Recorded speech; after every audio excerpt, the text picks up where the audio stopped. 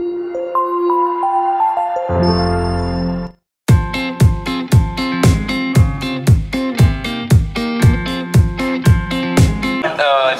था अपना पॉलिटी में डीपीएसपी हो चुका था। आज जो हम चर्चा करने वाले हैं, तीन चार विधाओं में ये थोड़ा सा लॉजिकल पॉइंट है, नागरिकता। ठीक है? अक्सर चर्चा में रहता है। अभी भी असम में जो नागरिकता के कारण प्रकरण चल रहा था, राजनीतिकरण, ये सब चलता रहता है। अभी पिछले साल एक संशोधन किया गया, संविधान संशोधन, जिसमें अन्य देशों के, यानी कि जो मुस्लिम कंट्रीज़ हैं, अपनी पड़ोसी मुस्लिम कंट्रीज़ उनके नागरिकों को, हिंदू लोगों को, भारत की नागरिकता आसानी से देने की व्यवस्था की गई थी। हुआ था ना संशोधन, चर्चा में था। आप लोगों ने देखा होगा ना? विरोध भी हो रहा था उसका कई जगह। जो आपका एनआरसी जिसको बोलते हो आप, ठीक है? हो रहा था ना विरोध? तो आज हम नागरिकता की चर्चा करेंगे और नागरिकता में सबसे इंपॉर्टेंट चीज़ तो दिमाग में ये रखो कि ये किस भाग में संविधान के? भाग दो में, ठीक है? संविधान के भाग दो में आपकी नागरिकता के उपबंध हैं। क्लियर अनुच्छेद कितने से? पाँच से ग्यारह कि छह से ग्यारह? हाँ? ठीक है? अब देखिए, जो अपना ये नागरिकता अधिनियम आया था, ये आया था 1955 में। पहले तो दिमाग में ये रखो आप, नागरिकता जो अधिनियम आया था, वो आया था 1955 में, और इसमें मुख्य रूप से भारतीयों को या फिर किसी भी व्यक्ति को देश का नागरिक, यानी भारत का नागरिक बनने के लिए पाँच उपबंध बताए गए थे। क्लियर? फिर उसके बाद ये तो नागरिकता प्राप्त करने के उपबंध हो गए। क्लियर? इसके बाद इस अधिनियम में नागरिकता त्याग करने के, ठीक है? वो भी उपबंध बताए गए कि कितने प्रकार से आप नागरिकता त्याग सकते हैं। क्लियर तो आपको पहली चीज़ दिमाग में रख रहा है कि भाग दो में है, अनुच्छेद पाँच से ग्यारह है, ठीक है? भाग दो है और सॉरी ये अनुच्छेद हो गया। और अधिनियम आपका उन्नीस सौ पचपन है। क्लियर ठीक है? पहले आप पाँच पॉइंट लिखिए, उसके बाद हम डिटेल करते हैं। अब देखिए, सबसे बड़ी चीज़ ये है कि हमें हमने जो नागरिकता के पहले आपको मूल अधिकार बताए थे, ठीक है? तो मूल अधिकारों को मैंने क्या बताया था कि कुछ लोग विदेशियों को प्राप्त होते हैं मतलब कुछ अधिकार, ठीक है? मतलब कुछ अधिकार विदेशियों को भी प्राप्त होते हैं, ऐसा कहिए, है ना? और कुछ अधिकार ऐसे हैं जो विदेशियों को तो बिल्कुल प्राप्त नहीं हो सकते। क्लियर? इस चीज़ को आपको दिमाग में रखना है। तो पहली चीज़ तो जो आपका सबसे इंपॉर्टेंट है, वो है अनुच्छेद पंद्रह। आर्टिकल फिफ्टीन, ठीक है? आर्टिकल सिक्सटीन, ठीक है? फिफ्टीन में क्या है? वंश, जाति, लिंग, नस्ल के आधार पर भेदभाव नहीं होगा, ठीक है? और सोलह में क्या था? अवसर की समानता, है ना? कि जो एम्प्लॉय रोज़गार दिया जाएगा, इसमें किसी व्यक्ति के साथ भेदभाव नहीं किया जाएगा। इसके अलावा आपका है अनुच्छेद 19 ठीक है? स्वतंत्रताओं का उल्लेख है क्लियर तो अनुच्छेद 19 बिल्कुल नहीं मिलेगा विदेशियों को। क्लियर और उसके बाद अनुच्छेद 29 और तीस। क्लियर तो आपको ये याद रखना है कि ये कितने हो गए? पाँच। ये पाँच अनुच्छेद विदेश मतलब कि ये पाँच अनुच्छेद के अधिकार विदेशियों को तो बिल्कुल नहीं मिलेंगे। क्लियर ठीक है? आगे आ जाओ। ठीक है? क्लियर दिमाग में? कि ये अनुच्छेद अनुच्छेद पंद्रह जो मैंने बताया कि इसमें किसी भी व्यक्ति के, किसी भी व्यक्ति से लिंग के आधार पर, यानी महिला है, पुरुष है, ठीक है, या ट्रांसजेंडर है, नागरिकता के आधार पर इस क्षेत्र का है, उस क्षेत्र का है, जाति के आधार पर अमीर है, गरीब है, ठीक है? क्लियर या नस्ल के आधार पर गोरी नस्ल का है कि काली नस्ल का है, ठीक है? इस आधार पर, इन बिंदुओं के आधार पर कोई भेदभाव नहीं होगा। अनुच्छेद 16 आपका कहता है कि अवसर की समानता दी जाएगी। जो गवर्नमेंट एम्प्लॉय होते हैं, ठीक है, या कोई सरकारी रोज़गार निकल रहा है तो उसमें सबको अवसर की समानता दी जाएगी। किसी भी आधार पर भेदभाव नहीं होगा। आरक्षण आपका उसका अपवाद है, ठीक है? क्लियर इस चीज़ को दिमाग में रखिए। उसके बाद अनुच्छेद 19 में स्वतंत्रताएँ स्वतंत्रता को उल्लेख है, ठीक है? छह प्रकार की स्वतंत्रता है। क्लियर आपको मैंने अरविंद केजरीवाल वाला एक उदाहरण भी बताया था, ठीक है? इसमें सबसे इंपॉर्टेंट आपको दिमाग में रखना है 19 ए फ्रीडम ऑफ़ एक्सप्रेशन अभिव्यक्ति की स्वतंत्रता। क्लियर तो अभिव्यक्ति की स्वतंत्रता ये प्रेस की स्वतंत्रता सब इसी में आती है। पॉइंट क्लियर ना? ठीक है? तो ये दिमाग में रखना है। और उनतीस और तीस। उनतीस में क्या था आपका? जो अल्पसंख्यक वर्ग है, उसके हितों का संरक्षण का उल्लेख किया गया था। ठीक है? क्लियर और तीस में आपका था कि वो अपनी संस्थाओं का विकास कर सकते हैं। क्लियर भाषा, लिपि आदि के संरक्षण के लिए अपनी वो भाषाओं का मतलब अपनी संस्कृति के विकास के लिए इनका संरक्षण कर सकते हैं। क्लियर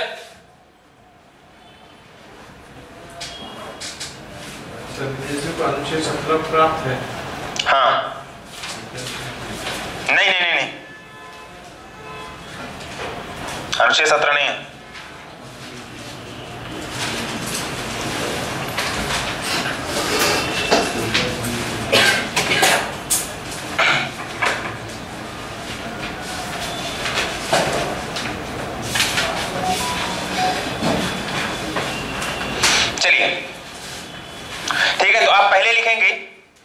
भारतीय नागरिकता अधिनियम 1955 के अनुसार ये नागरिकता अधिनियम का जो 1955 है ना, इसको दिमाग में रखेंगे। कब आया नागरिकता अधिनियम?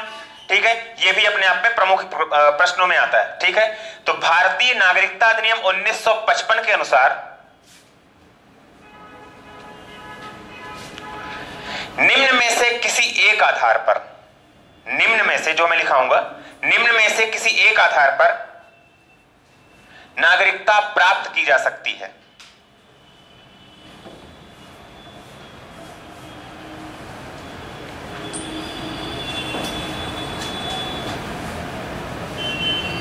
ठीक है? क्लियर तो पहली चीज़ इसका पहला आधार क्या है? जन्म से। लिखेंगे बाय बर्थ या जन्म से।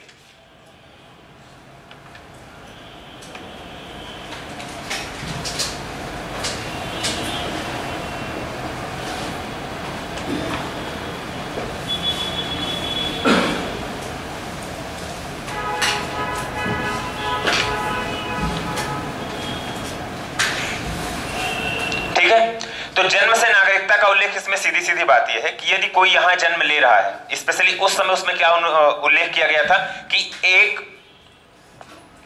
जुलाई 1947 ठीक है?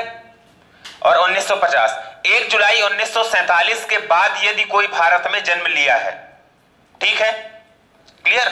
और उसके माँ बाप उसके माँ बाप भारतीय नागरिक हैं, ठीक है? माँ या बाप, दोनों में से कोई एक। ठीक है? तो उसको जन्म से भारत का नागरिक माना जाएगा। हम लोगों को नागरिकता जो मिलती है, वो किस आधार पर मिलती है?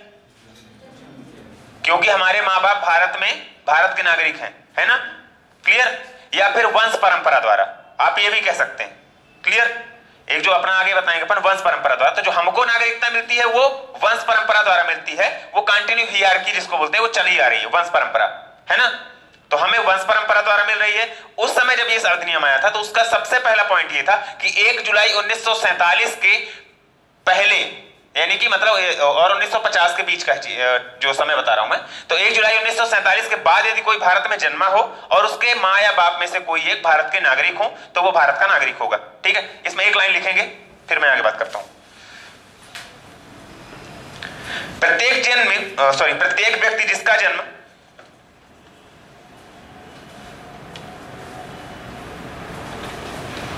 प्रत्येक व्यक्ति जिसका जन्म संविधान लागू होने संविधान लागू होने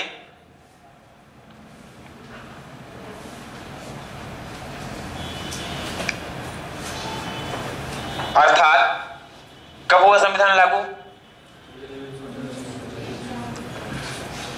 भारतीय संविधान को अपनाया कब गया था? वेरी गुड मैंने आपको पहले बताया था ना कि जब दो डिफरेंस भारतीय संविधान को अपनाना और भारतीय संविधान को लागू होना these are two different cases बताया था कि नहीं? भारतीय संविधान को एडॉप्ट करना, ठीक है ना? एडॉप्ट करने बताया था ना?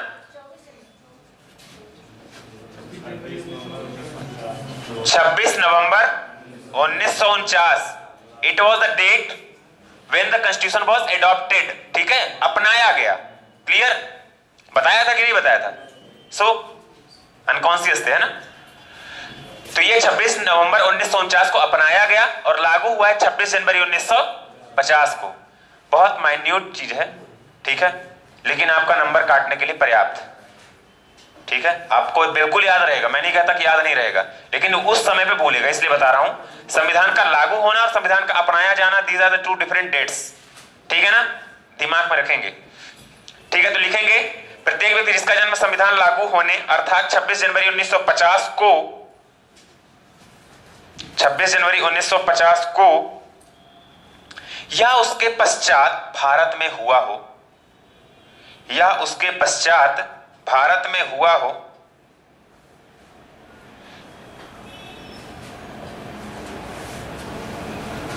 या उसके पश्चात भारत में हुआ हो, तथा तथा 1 जुलाई 1947 फिर से लिखेंगे जिन्होंने नहीं लिखा है, प्रत्येक व्यक्ति जिसका जन्म संविधान लागू होने अर्थात 26 जनवरी 1950 को या उसके पश्चात 26 जनवरी को भी या उसके पश्चात भी। ठीक है? यह भी दिमाग पर रखेंगे। उसके पश्चात तथा 1 जुलाई 1947 से पूर्व 1 जुलाई 1947 से पूर्व जन्मा व्यक्ति भी अपने माता पिता की अपने माता पिता की राष्ट्रीयता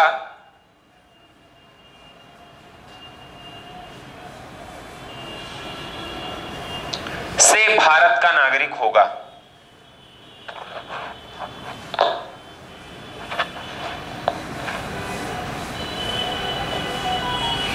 इसका मतलब ये हुआ कि 1 जुलाई 1947 के बाद जो लोग जन्म हुए जिनका जन्म हुआ है ना, जिनका ठीक है? एक जुलाई 1947 पहली डेट तो आपको ये याद रखनी 26 जनवरी 1950 को या उसके बाद जन्म लिया कोई भी व्यक्ति भारत का नागरिक होगा। ठीक है? ये तो पहला पॉइंट क्लियर उसके बाद जो दूसरा पॉइंट आ रहा है इस पे कि 1 जुलाई उन्नीस के पूर्व यदि कोई भारत में जन्मा है तो अपने माता पिता की राष्ट्रीयता के आधार पर नागरिक होगा। ठीक है? क्लियर इस चीज़ को दिमाग में रखेंगे, बस सिंपल सा। यानी कि पहला जो आपको मैंने बताया कि भारत में राष्ट्रीयता का पहला चीज़ ये है आपका, जन्म से, ठीक है, या बाय बर्थ ठीक है, चलिए, दूसरा लिखेंगे। वंश परंपरा द्वारा नागरिकता।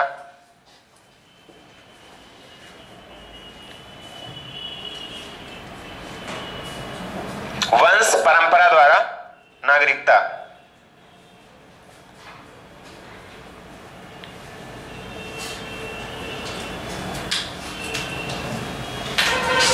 ठीक है, लिखेंगे इसमें।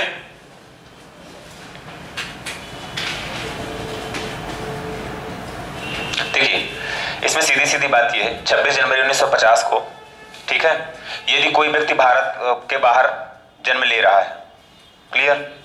26 जनवरी 1950 को या उसके बाद कोई भी व्यक्ति भारत में जन्म ले रहा है, ठीक है, लेकिन इसको 1992 तक सीमित किया गया है, ध्यान रखेंगे। तो ये याद रखेंगे कि 26 जनवरी 1950 के को या उसके बाद कोई व्यक्ति भारत के बाहर भी जन्म ले रहा है तो वो नागरिक माना जाएगा, यदि उसके पिता, यदि उसके पिता भारत के नागरिक हो तो। ठीक है ना? हुँ? नहीं, इसमें वंश, भारत में क्या होता है? पेट्रियार की चलती है। पितृ सत्तात्मक शासन चलता है ना? समझ रहे हैं? इसलिए वंश का नाम जहाँ पे आ रहा है मतलब यहाँ वंश का नाम किससे माना जाता है? सामान्य अपनी भाषा में समझिए, यदि किसी का वंश माना जाता है तो किससे? पिता से। ठीक है पेट्रियार्कियल सोसाइटी है अपने यहाँ।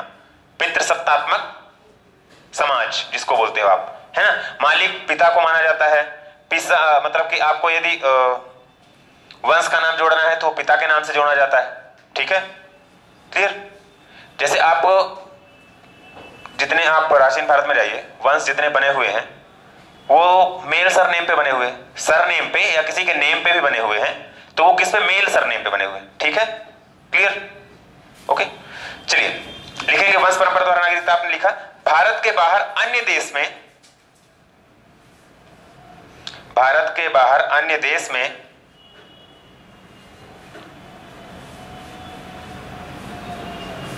छब्बीस जनवरी 1950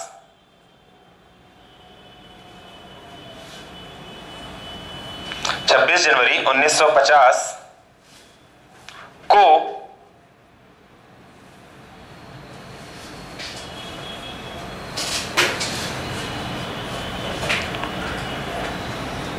क्या लिखा आपने? भारत के महाराजा देश में 26 जनवरी उन्नीस सौ पचास। उसको को को के कर लीजिए। 1950 के पश्चात जन्म लेने वाला व्यक्ति।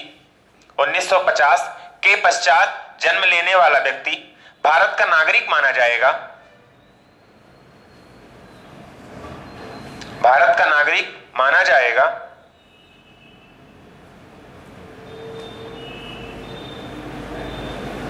यदि उसके जन्म के समय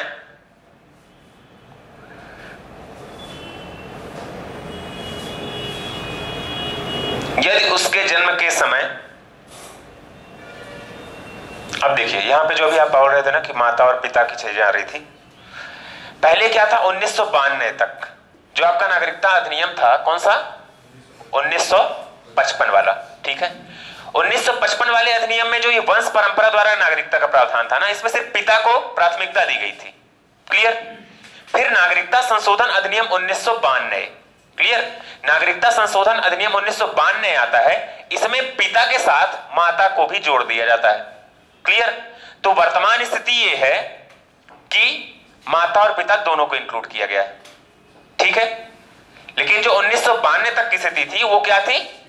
पितावस्था। ठीक है कि यदि आपके पिता भारत के नागरिक हैं तो आपको नागरिकता दी जा सकती है, भले ही आपका जन्म अदर कंट्रीज़ में हुआ हो। क्लियर लेकिन नागरिकता संशोधन अधिनियम, ठीक है ना? सिटीजनशिप अमेंडमेंट एक्ट 1992 के द्वारा इसमें मदर को भी इंक्लूड कर दिया गया। पॉइंट क्लियर है ना आपका? ठीक है? जन्म से और उसके बाद वंश परंपरा द्वारा। क्लियर तो इसमें लिखेंगे आपने।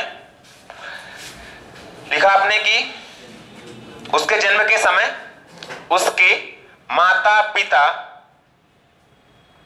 यदि उसके जन्म के समय, उसके माता पिता में से कोई भारत का नागरिक हो। ठीक है? तो ये हम वर्तमान स्थिति लिख रहे हैं। यदि उसके जन्म के समय उसके माता पिता में से कोई भारत का नागरिक हो। ठीक है? दोनों चीज़ें क्लियर ना? जन्म से कैसे होती है? वंश परंपरा द्वारा। माता पिता कब तक थे? उन्नीस सौ बानवे तक। ठीक है? लिखना है तो लिख लीजिए कोष्टक में थोड़ा सा एक लाइन। कोष्टक में लिखेंगे, ठीक है? या स्टार पॉइंट जैसे बना के आप लिखते हो नीली पीले में। माता की नागरिकता माता की नागरिकता के आधार पर माता की नागरिकता के आधार पर नागरिकता का प्रावधान। नागरिकता का प्रावधान। माता की नागरिकता के आधार पर नागरिकता का प्रावधान। नागरिकता संशोधन अधिनियम उन्नीस के द्वारा। नागरिकता संशोधन अधिनियम उन्नीस के द्वारा किया गया। माता की नागरिकता के आधार पर नागरिकता का प्रावधान नागरिकता संशोधन अधिनियम उन्नीस के द्वारा किया गया। पॉइंट क्लियर मतलब जो मदर को इंक्लूड किया गया along with your father that you are the you can be the citizen of India ठीक है? हाउ यू टेक बर्थ और you have a birth in any other countries out of India ठीक है? तो आप किसी भी देश में लो जाना। लेकिन यदि आपके माता और पिता भारत के नागरिक हैं तो you shall be the citizen of India ठीक है? ओके चलेंगे? अगला लिखेंगे। देशीकरण द्वारा नागरिकता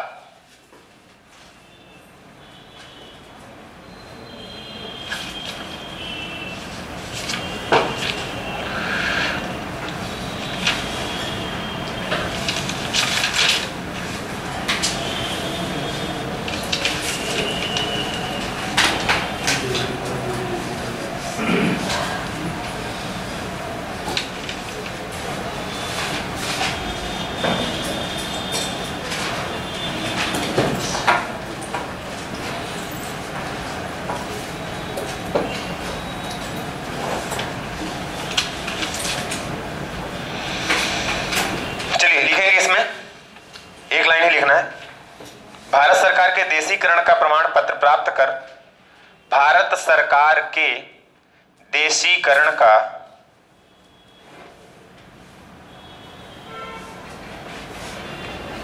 प्रमाण पत्र प्राप्त कर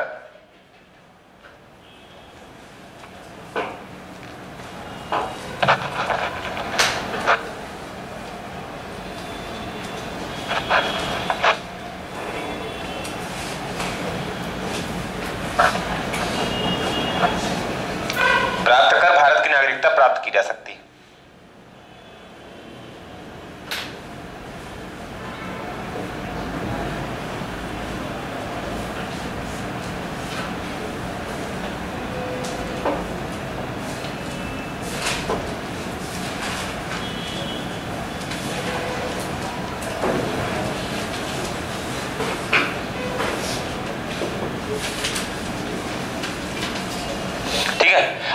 देसीकरण क्या है एक्चुअली देसीकरण ऐसा होता है जैसे यदि हम मान लीजिए में जा रहे हैं, ठीक है ना?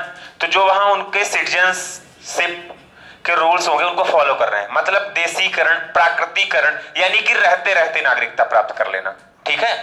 क्लियर तो इसके दो तीन पॉइंट होते हैं। जैसे यदि हम कहीं भी देश में जाते हैं तो इसके आधार पर ज़्यादातर नागरिकताएँ मिलती हैं।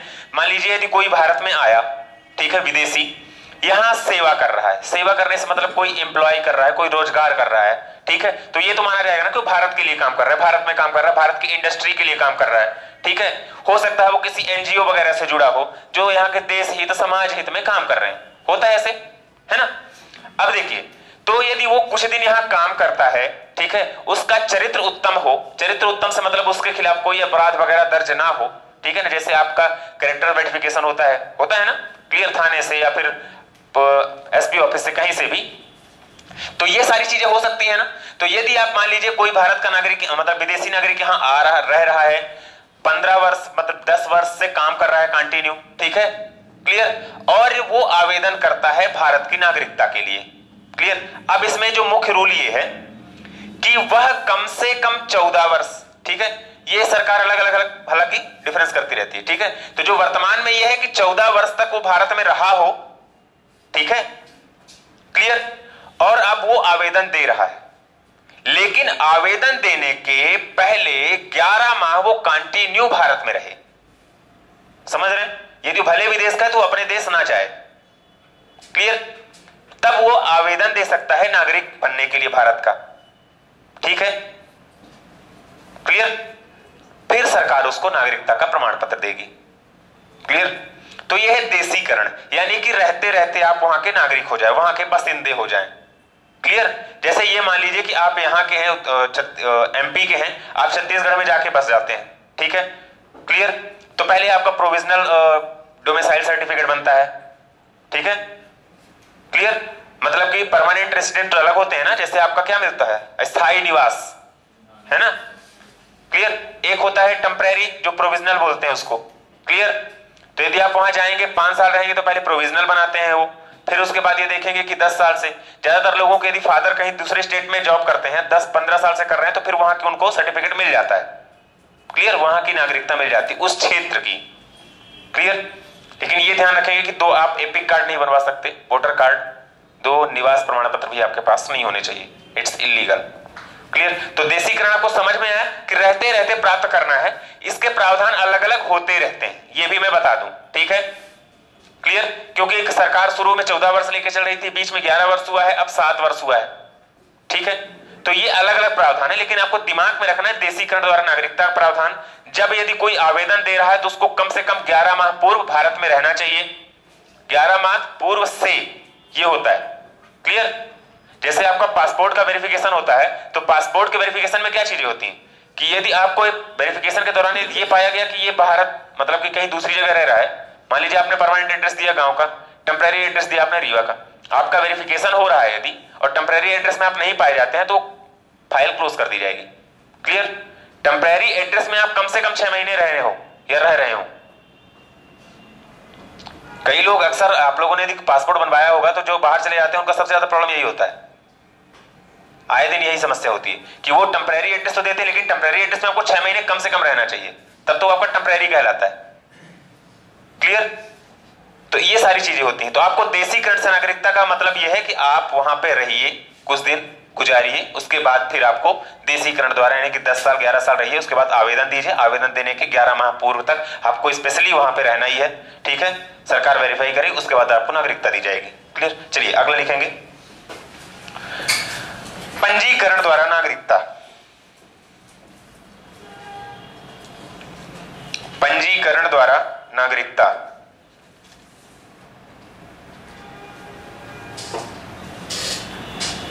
ठीक है? चलिए। लिखेंगे। निम्नलिखित वर्गों में आने वाले लोग।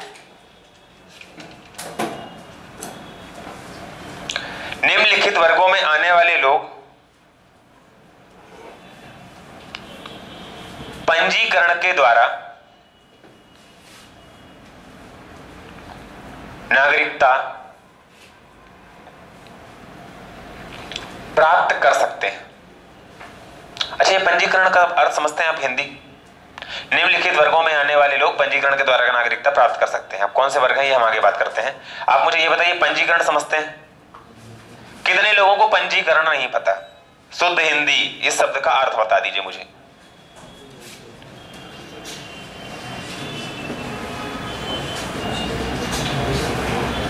पंजीकरण। कितनों को नहीं पता? सबको पता है मतलब? अच्छा कितनों को पता है? ये बता दो, चलो।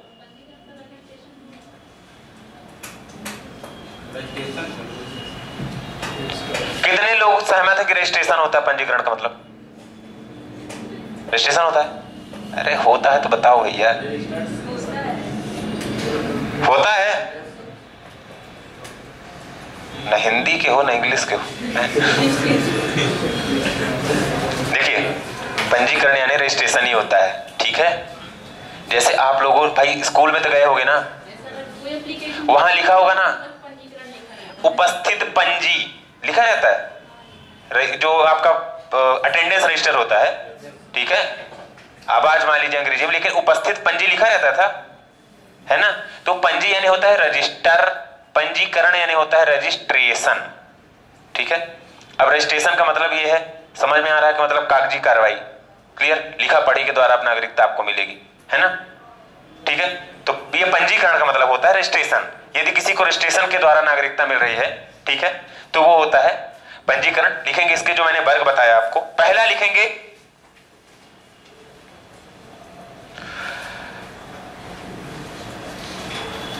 रजिस्ट्रेशन हिंदी में लिख लेना अच्छा लगेगा क्या आपको? पंजीकरण ही लिखोगे? चलो लिखो पंजीकरण। ठीक है, चलिए लिखेंगे पंजीकरण द्वारा। भारत का मूल व्यक्ति। भारत का मूल व्यक्ति। जो नागरिकता प्राप्ति का आवेदन देने से जो नागरिकता प्राप्ति का आवेदन देने से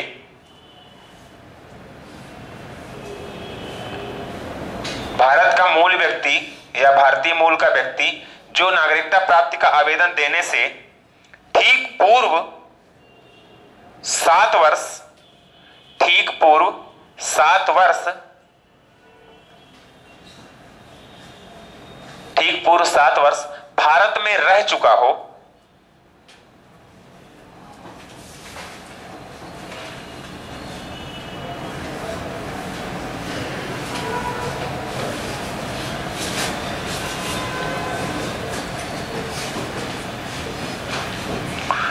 दूसरा इसी में लिखेंगे बी नंबर या कॉमा करके नीचे लाइन में लिख लीजिएगा डैश करके.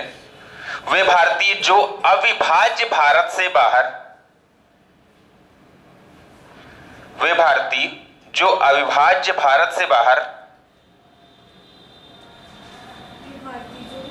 अविभाज्य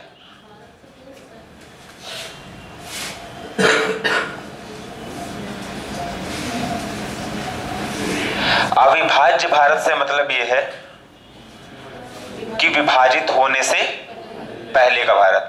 स्पेशली मेंशन हालाँकि इसमें पाकिस्तान को किया गया। ठीक है? ठीक है? अविभाज्य भारत से बाहर किसी देश में निवास कर रहे हूँ।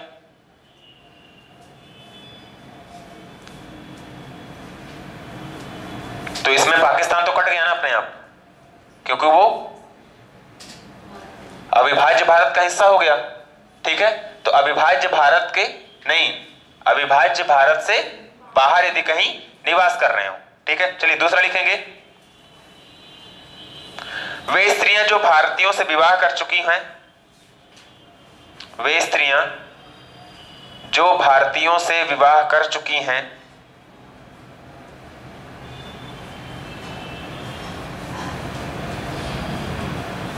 ठीक है?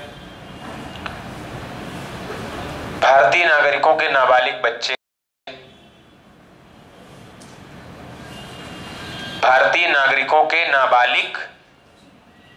वे स्त्रियाँ जो भारतीयों से विवाह कर चुकी हैं, पहले वाला पॉइंट है। उसके बाद है भारतीय नागरिकों के नाबालिग बच्चे। ठीक है? राष्ट्रमंडल देशों के नागरिक राष्ट्रमंडल देशों के नागरिक।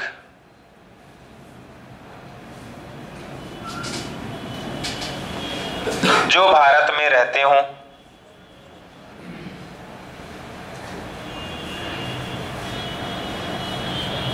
या भारत में सरकारी नौकरी करते हों।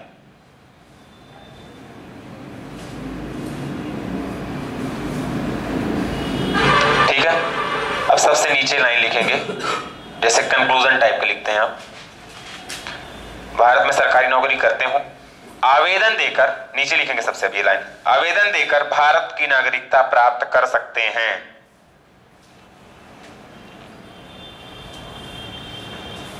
आवेदन देकर भारत की नागरिकता प्राप्त कर सकते हैं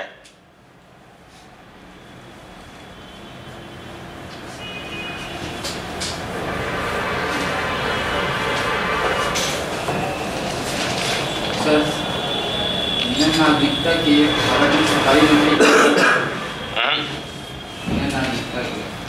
बिना नागरिकता के भारत में?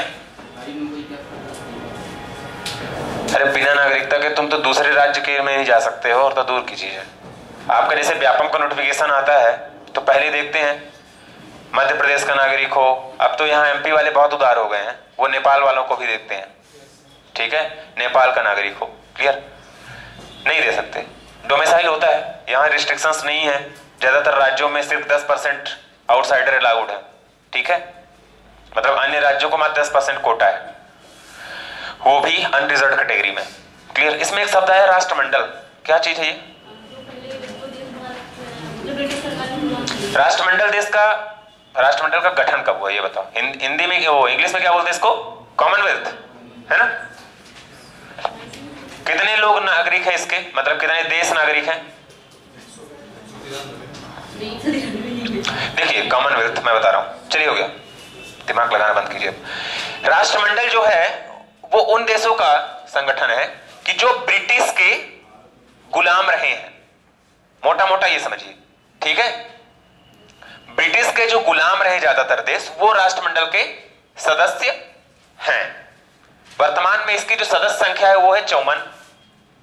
क्लियर मैंने जब आपको संविधान सभा की सदस्यता बता मतलब संविधान सभा के कार्य बताए थे उसमें एक पॉइंट लिखाया था कि राष्ट्रमंडल की सदस्यता ग्रहण करना भी इसका प्रमुख कार्य था। और इसने जो भारत ने सदस्यता ग्रहण की थी वो उन्नीस सौ उनचास में की थी। अमेरिका तो था अमेरिका गुलाम नहीं था। ठीक है? अमेरिका में जाएँगे तो फिर अमेरिका के गृह युद्ध में जाना पड़ेगा। देखिए अमेरिका गुलाम नहीं था इनका। स्पष्ट बता रहे हैं। अमेरिका और ऑस्ट्रेलिया एक ऐसी कंट्रीज़ थी, उस समय पे 1700 के बात कर रहा हूँ मैं, ठीक है? जब इंग्लैंड की क्रांति शुरू हुई थी, ठीक है? 1600 ईस्वी के आसपास तो अमेरिका एक ऐसा था, पूरा जंगल था, ठीक है? पूरी तरह से जंगल। वहाँ के आज भी जो मूल नागरिक है, वो रेड इंडियंस कहलाते हैं। जानते हैं? एबोरिजिन्स रेड इंडियन है ना? जो मतलब कि बिल्कुल काले और बाल उनके कभी कभी लाल रही रहते हैं, ठीक है? ठीक है? तो वो स्पेशली जो साउथ अमेरिका में दक्षिण अमेरिका में जो आज रह रहे हैं क्लियर ये भी, ठीक है? तो ये चीज़ ये थी कि जो एक्चुअली हुआ क्या था कि जो यहाँ के अपराधी वर्ग थे, कहाँ के? ब्रिटेन के, ठीक है? और ब्रिटिश टेरिटरी के क्लियर या फिर जिनको देश निकाला कर दिया जाता था, या फिर जो ब्रिटिश काल में सबसे ज़्यादा अपराध करते थे, यानी कि अंग्रेज़ों के नाके चने चबाने के बाद वो समुद्र पार जाके अमेरिका में बसते थे। इसलिए अमेरिका में आज भी आप देखेंगे ना तो वहाँ सबसे ज़्यादा डिसिडेंट्स हैं। डिसिडेंट्स का मतलब है अन्य अन्य देशों के नागरिक। वहाँ आप चले जाइए ना, एक गली में चले जाएँगे तो आपको दस देशों के नागरिक मिल जाएँगे। यानी उनकी जो बाप दादा हैं, जो भी, ठीक है, वो अलग अलग देशों के हैं। क्लियर इसलिए वो मिक्स्ड है पूरा देश। पूरा देश मिक्स्ड है। इसीलिए वो स्वतंत्र विचारों को भी धनी है। वो किसी एक परंपरा को फॉलो नहीं करते। इसीलिए वहाँ सबसे पहले संविधान बना। इसीलिए वहाँ पे पहले डेमोक्रेसी आई। सबसे पहले संविधान कहाँ बना? किस देश में? अमेरिका में। ठीक है ना? प्रस्तावना भी मैंने बताया था ना कि अमेरिका में ही सबसे पहले शुरू हुई थी। क्लियर तो ये सारी चीज़ें हैं उस पर अपन जाते। कॉमनवेल्थ को दिमाग में रखिएगा। उन्नीस सौ उनचास में बालाफोर डिक्लेरेशन हुआ था 1931 में 1931 में। उसके तहत ये गठन हुआ था। तो ये बालाफोर भी आ सकता है। दिमाग में रखना हो तो रख लीजिएगा। या ज़्यादा जानकारी चाहिए होगी तो आप विकीपीडिया में सर्च कीजिएगा गूगल में। ठीक है? कॉमनवेल्थ राष्ट्रमंडल। भारत कब नागरिक बना? मतलब सदस्य बना उन्नीस सौ उनचास में, वर्तमान में चौवन है, ये ध्यान रखेंगे। क्लियर चलिए लिखेंगे अगला बिंदु आप लिख रहे थे। तो आपको तीन चीज़ें क्लियर हैं। पहला, वंश परंपरा द्वारा, जन्म से और पंजीकरण द्वारा। ठीक है? और देशीकरण भी हो गया ना? चलिए, अगला लिखेंगे भूमि विस्तार द्वारा। भारत की नागरिकता प्राप्त करने का जो ये पांचवा तरीका है, वो है भूमि विस्तार द्वारा।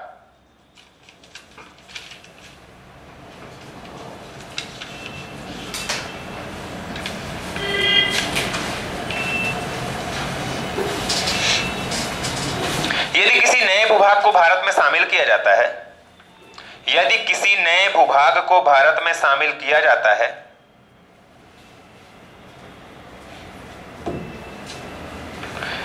यदि किसी नए भूभाग को भारत में शामिल किया जाता है तो उस क्षेत्र में निवास करने वाले व्यक्तियों को तो उस क्षेत्र में निवास करने वाले व्यक्तियों को, यदि किसी क्षेत्र सॉरी यदि किसी नए भूभाग को भारत में शामिल किया जाता है तो उस क्षेत्र में निवास करने वाले व्यक्तियों को स्वतः स्वतः स्वतः लिखते बन जाएगा ना? स्वतः भारत की नागरिकता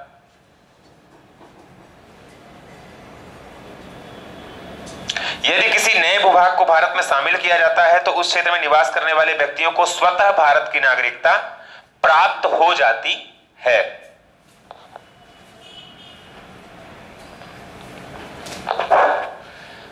ठीक है? ये चीज़ तो आपको समझ में आ रही होगी ना? कि नहीं समझ में आ रही? जैसे मान लीजिए, गोवा एक समय पे पुर्तगालियों के कब्जे में था, ठीक है? पांडिचेरी फ्रांसीसियों के कब्जे में था। था ना? क्लियर तो जब भारत गोवा में मतलब गोवा जब भारत में मिल गया तो गोवा के नागरिक, भारत के नागरिक हो गए, ठीक है? सिक्किम को मिलाया गया भारत में तो सिक्किम के नागरिक भारत के नागरिक हो गए।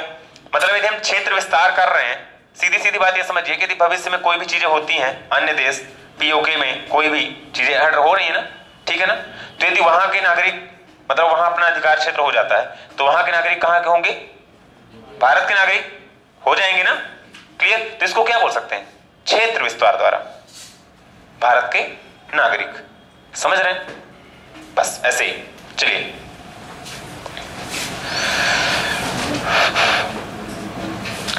अगला पॉइंट डालेंगे, नागरिकता की समाप्ति।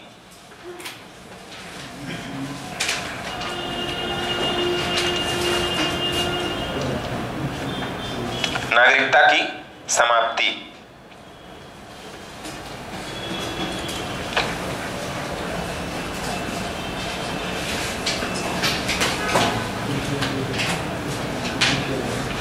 अब सीधी सीधी भाषा में समझेंगे।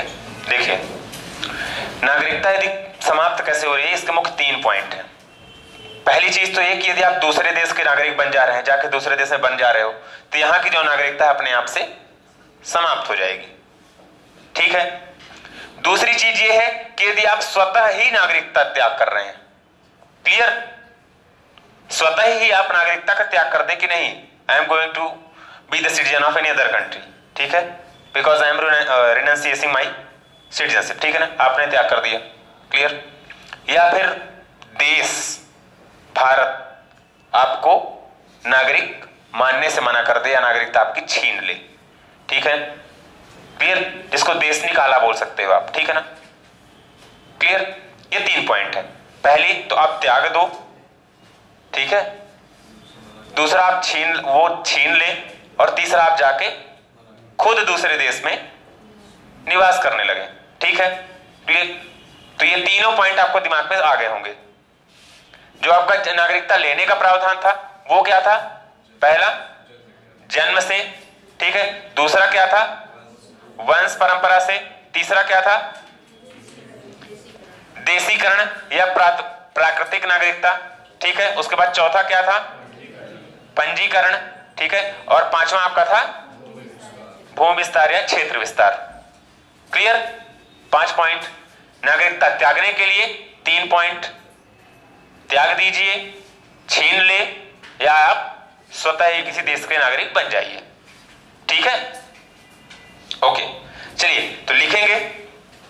नागरिकता की समाप्ति। नागरिकता खोने के तीन प्रमुख कारण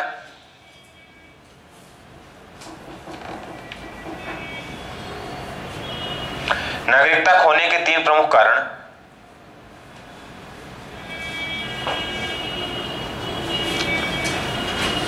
स्वैच्छिक त्याग स्वैच्छिक त्याग, स्वैच्छिक बन जाएगा लिखते ना? स्वैच्छिक त्याग। ठीक है? बर्खास्तगी बर्खास्तगी, यानी सस्पेंशन, जिसको बोलते हैं अपन। एवं वंचित करना है। स्वैच्छिक त्याग, बर्खास्तगी एवं वंचित करना है। ठीक चलिए, इनको डिटेल करवाऊं, कि समझ में आ रहा है। ठीक है ना?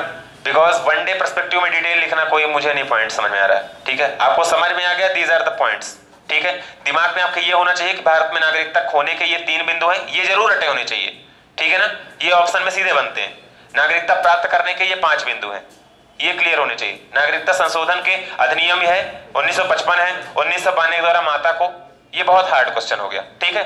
इसके बाद अब आ जाइए। महत्वपूर्ण अनुच्छेद जो नागरिकता संबंधित है। ठीक है?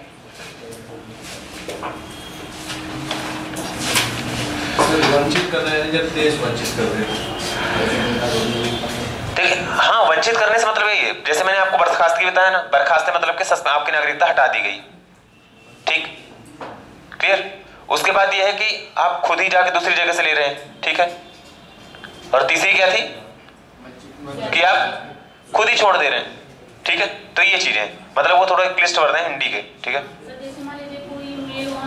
पाकिस्तान का है हम्म। फीमेल इंडिया की है हम्म। तो वो फीमेल यहाँ आता है? हाँ ये वो उसके स्वेच्छा के ऊपर होता है कि वो किसी एक देश में ही रहेगा। यदि उसने भारत की नागरिकता ले ली तो ठीक है। पाकिस्तान की वहाँ का क्या कंडीशन है, वो वहाँ जाने। लेकिन अपने यहाँ है कि यदि उसने पाकिस्तान की नागरिकता ले ली तो यहाँ की नागरिकता खत्म। जहाँ की वो नागरिकता रहे लेंगे, माँ, बाप जहाँ की नागरिकता ले रहे हैं। तो ऐसा नहीं होगा ना। कहीं ना कहीं तो सिटीजन होगा। ठीक है? तो ये कंडीशन होता आपको नागरिकता लेनी ही पड़ती है। जैसे सानिया मिर्ज़ा की टेनिस स्टार जो थी उनकी शादी हुई थी ठीक है? लेकिन वो सिटीजन कहाँ की हो गई? पाकिस्तान की। लेकिन वो खेल इधर से ही रही अभी भी। अब तो शायद वो मैचेस उनके साथ कम हो रहे हैं या हो ही नहीं रहे ठीक है? लेकिन वो नागरिक कहाँ की हो गई? वहाँ की ठीक है? आपको ज़्यादा डिटेल हो तो एक बार आप सर्च कर लीजिएगा ठीक है? क्लियर रहेगा। क्लियर चलिए इसमें बहुत अ, महत्वपूर्ण अनुच्छेदों में लिख लेंगे पहला।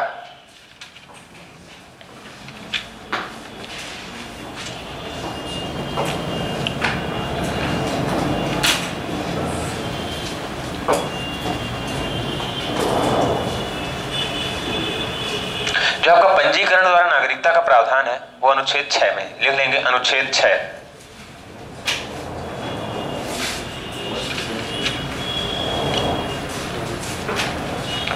अनुच्छेद छह। ठीक है? सीधे सीधे लिख लो इसमें एक लाइन, पंजीकरण द्वारा नागरिकता। पंजीकरण द्वारा नागरिकता मीन्स रजिस्ट्रेशन ठीक है ना? सिटीजनशिप बाय रजिस्ट्रेशन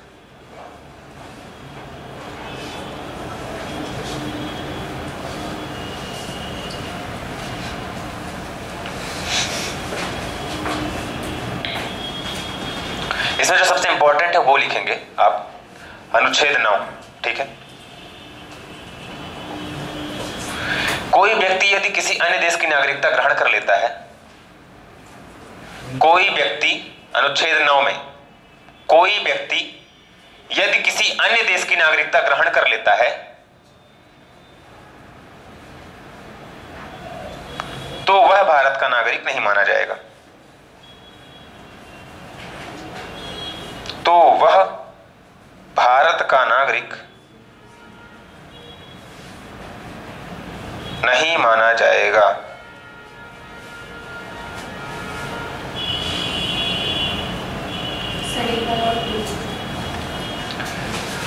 अनुच्छेद नौ है ये, ठीक है?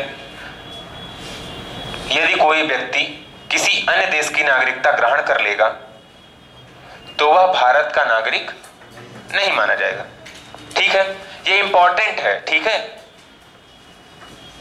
क्लियर कि नागरिकता का वो त्याग कर दे रहा है ठीक है या फिर हालाँकि इसमें त्याग जैसा नहीं है वो ऑटोमेटिक अपने आप खत्म हो जाती है सिटीजनशिप आपकी क्लियर जैसे आपको पता होना चाहिए कि जो अक्षय कुमार है वो भारत का नागरिक है कि नहीं है हम्म? ठीक है तो इस तरह यदि आप कहीं की भी जाकर सिटीजनशिप ले लीजिए, ठीक है? चलिए। अगला लिखेंगे अनुच्छेद 10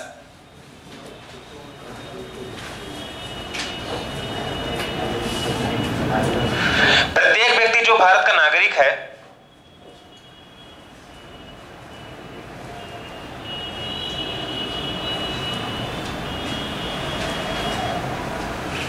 यह समझा जाता है प्रत्येक व्यक्ति जो भारत का नागरिक है, यह समझा जाता है।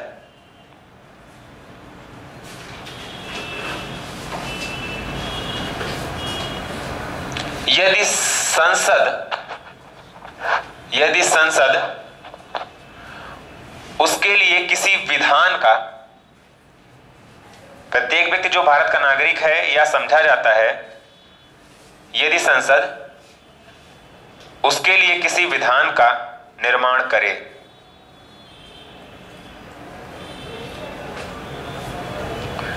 ठीक है?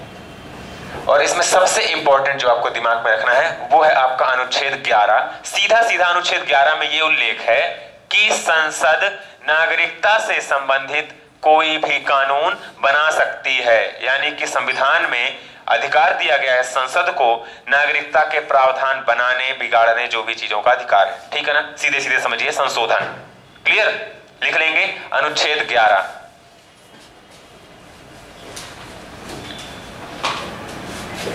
ठीक अनुच्छेद 11 में लिखेंगे। नागरिकता से संबंधित, नागरिकता से संबंधित विषयों पर संसद कानून बना सकती है।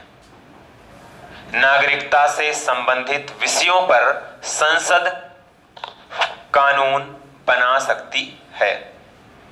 ठीक है? ओके।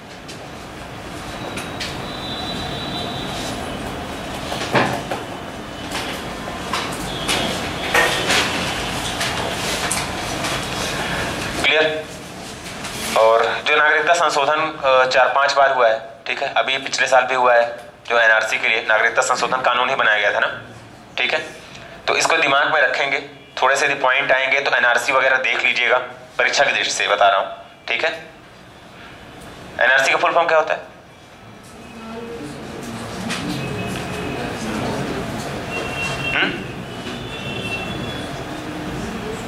एनपीआर, एनआरसी, ये करंट अफेयर में खूब था ना? एनआरसी?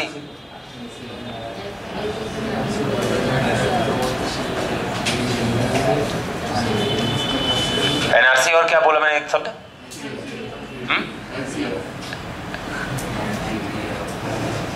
एनपीआर, एनसीआर ने, ठीक है।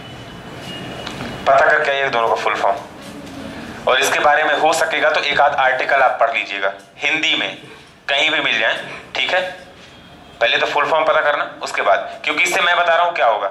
आपके ये करंट प्लस जो भी पुरानी चीज़ें क्लियर हो जाएगा, ठीक है? क्योंकि अभी की परीक्षा में आया था कि जो ये 1985 में एक असम एकॉर्ड हुआ था। असम समझौता, ठीक है? ये किस विषय से संबंधित है? ठीक है, मुझे ध्यान है कि शायद ये पिछला हम्म? वो एनसीआर की बात कर रहे हो एनसीआर दिल्ली का क्षेत्र है वो। मैं एनआरसी की बात कर रहा हूँ। ठीक है? दिल्ली एनसीआर का क्षेत्र, वो अलग है। ठीक है? नेशनल कैपिटल रीजन क्लियर तो इसको सर्च कीजिएगा इंपॉर्टेंट है आपके लिए। ठीक है? थोड़ा सा आउट ऑफ़ द बॉक्स सोचिए।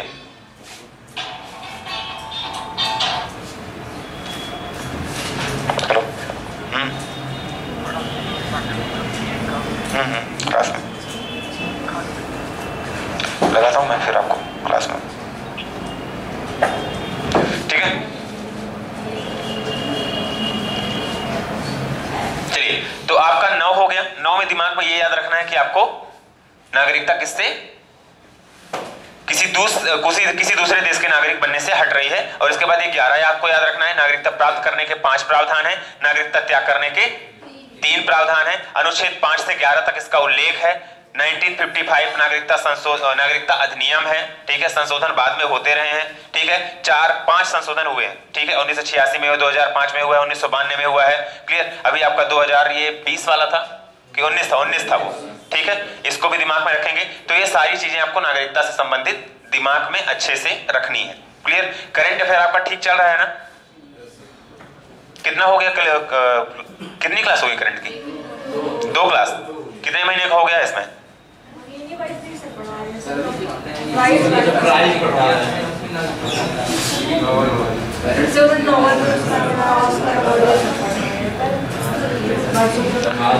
ठीक है।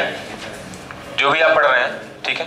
मैं कोशिश करूँगा कि आज या कल शाम तक टेलीग्राम ग्रुप जो भी लोग हैं तो वो ज्वाइन कर लेंगे ठीक है। आपने वो बुक डाउनलोड की देखी? मैंने ग्रुप में डलवाई थी। भारतीय संविधान 2000 सॉरी ग्यारहवीं वाली। ठीक है? एनसीईआरटी हिंदी में। ठीक है? देख लीजिएगा पहले उस बुक को आपको। यदि ठीक लगे तो आप परचेज कीजिएगा। ठीक है ना? तब जाके खरीदिएगा।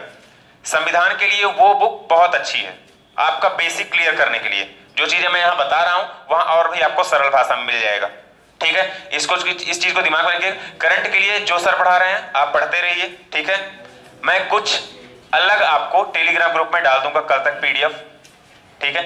तो आप उसको देख लीजिएगा। रिवीजन ही होगा। हाँ? क्या? यूट्यूब में यार पता है प्रॉब्लम नहीं है।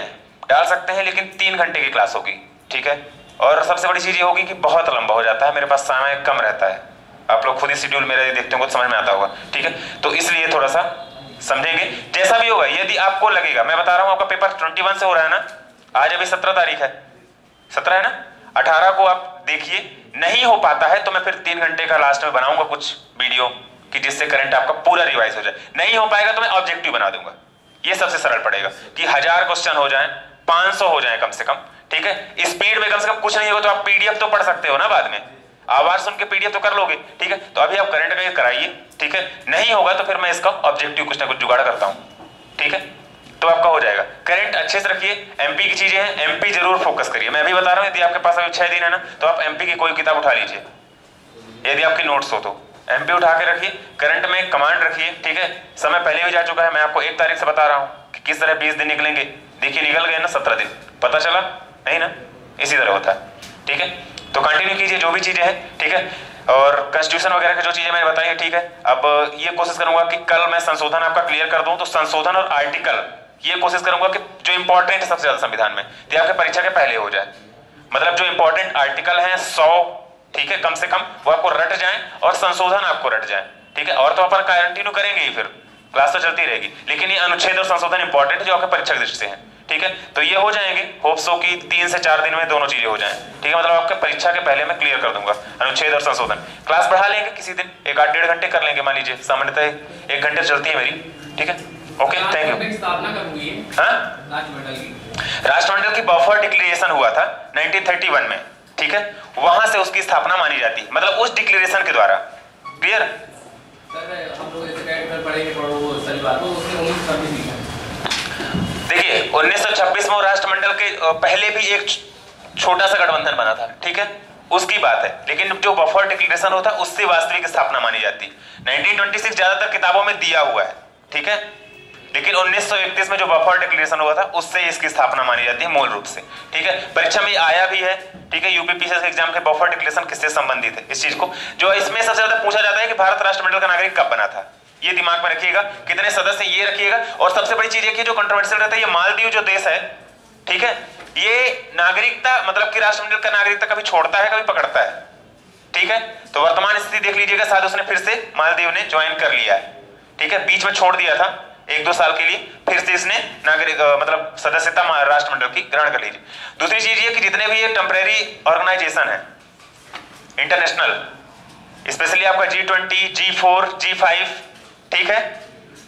जी सेवन जी एट जो आपका चलता है ठीक है? इसको दिमाग में रखिएगा। आपका जो आ, आपका सार्क हो गया ठीक है? और इसके अलावा जो आपका ये संघाई कारपोरेशन ऑर्गेनाइजेशन एस जिसको आप बोलते हो ओपेक हो गया ठीक है? मुस्लिम कंट्रीज़ के जो संगठन है, इसको दिमाग में रखिएगा, ठीक है? इसलिए मैं बोल रहा हूँ, मुस्लिम कंट्रीज़ का संगठन क्या है? कौन सा है कि वो? इसमें साथ साठ के आसपास मुस्लिम देश हैं। देख लीजिएगा एक बार, मुझे थोड़ा सा दिमाग से हट रहा है। क्यों? क्योंकि अभी भारत, जो जम्मू कश्मीर वाला इशू था, इस पर भी सबसे ज़्यादा इशू इसने क्रिएट किया था। मुस्लिम संगठन ने बोला था कि हम इसको बाइकाट करेंगे, भारत की पॉलिसीज़ को, ठीक है? अभी भी जो आपका ये कुछ कहीं युद्ध जैसी चीज़ें शुरू हुई हैं, अजरबैजान की और कहाँ पे? आर्मेनिया में, ठीक है? वहाँ पे भी ये मुस्लिम संगठन ने ही इसको साइड करने के लिए बोला है, ठीक है? पाकिस्तान उसमें ज़्यादा फेवर कर रहा है तो ये मुस्लिम संगठन का स्थापना देख लीजिएगा कितने देश हैं, ठीक है? तो इसको ज़रूर ध्यान रखिएगा थोड़ा सा, ठीक है? ये एग्ज़ाम के हिसाब से भी और आपके हिसाब से भी इंपॉर्टेंट ओके थैंक यू